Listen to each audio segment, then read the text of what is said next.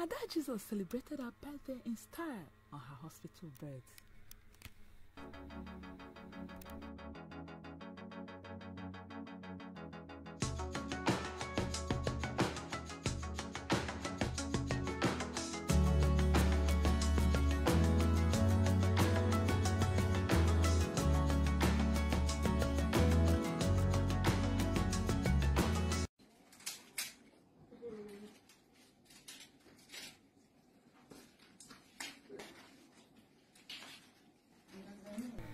Female comedian Mmesoma Mercy Nadi, aka Ada Jesus, celebrated her birthday in style on her hospital bed.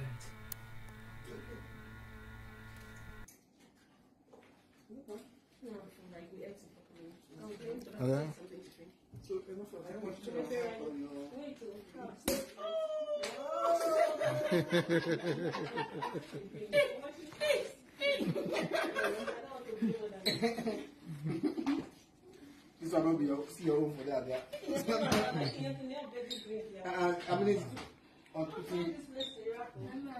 Hmm? Now, Human rights activist Mr. Harrison Gwamnishu was one of those who organized the birthday celebration, and FFK's estranged wife, Precious Chikwendu, was also at the hospital to celebrate with Ada Jesus.